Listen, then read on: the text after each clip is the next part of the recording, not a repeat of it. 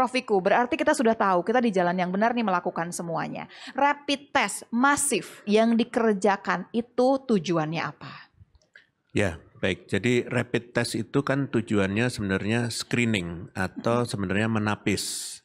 Jadi memastikan bahwa orang yang memiliki kontak erat, Ya, riwayat kontak erat dengan penderita, ya, itulah yang harusnya dites apakah yang bersangkutan itu terinfeksi atau tidak. ya, Maka menggunakan rapid test. ya, Seandainya hasilnya negatif, ya. nanti 7 sampai 10 hari lagi harus diulang. Tes, ya. Nah, jadi tugasnya eh, apa yang dilakukan adalah dalam rangka menapis. Mm-mm. Jadi tidak semua orang harus dites. Iya, ini adalah yang akan dites secara masif ini adalah orang-orang yang dianggap gitu punya kontak erat dengan penderita COVID-19.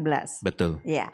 Kemudian kita bicara alur pemirsa. Kalau misalkan satu orang dites, misalkan saya dan kelompok saya dites nih Prof Wiku. Kemudian kalau saya negatif, saya akan dites kembali Ya. sekitar 10 hari kemudian. Iya. Iya. Kalau saya positif bagaimana? Kalau positif, maka akan dites lagi menggunakan PCR Ya. supaya memastikan betulan sakit atau tidak. Nah, kalau kemudian PCR-nya positif, apa yang kemudian kejadian? Kalau PCR-nya positif, biasanya juga sudah ada gejala, Iya, maka otomatis mungkin perlu dirawat. ya langsung. Berarti kita Ya. ceritanya tinggal lihat nanti ringan, sedang atau berat. Ya. Kalau berat masuknya rumah sakit, dokter Ya. tugas yang pegang gitu ya. Ya. Kalau ringan atau sedang barangkali oh Wisma Atlet barangkali kalau di Ya. Jakarta. Baik, kalau misalkan saya positif, pas PCR itu ternyata negatif Prof Wiku, terus apa lagi ceritanya?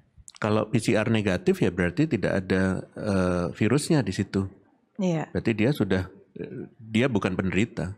Nah, selama menunggu itu kita taruh di mana nih yang positif nih? Semua yang positif selama menunggu sampai keluar PCR positif atau negatif, mereka harus isolasi dong. Dia mereka harus isolasi. Iya. Isolasinya kan bisa isolasi mandiri dulu di rumah, Iya. tidak pergi ke mana-mana. Hmm. Atau mungkin kalau ada fasilitas eh, publik yang Iya. digunakan untuk isolasi, isolasinya di situ. Nah, ya.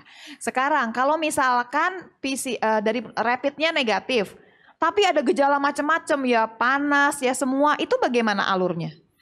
Paling baik adalah mengunjungi dokter. Nah, Tanya periksa, pada dokter, periksa iya. kalau begini batuk kan bisa saja batuknya bukan karena COVID kan. Iya. Nah, nanti biarkan dokter saja yang memeriksa, nanti akan dokter yang akan mengasih tahu bahwa ini adalah gejalanya ke arah COVID atau bukan. Baik, jadi kita ulang ya pemirsa ya, bahwa sebetulnya rapid test ini tidak perlu ditakuti. Ini cuma screening sebetulnya. Screening, betul. Positif atau negatif pun alurnya sudah jelas. Kalau nanti kita positif, langsung ada PCR yang akan mengikuti. PCR negatif, ya sudah selesai. Berarti akan berkegiatan seperti sedia kala. Betul.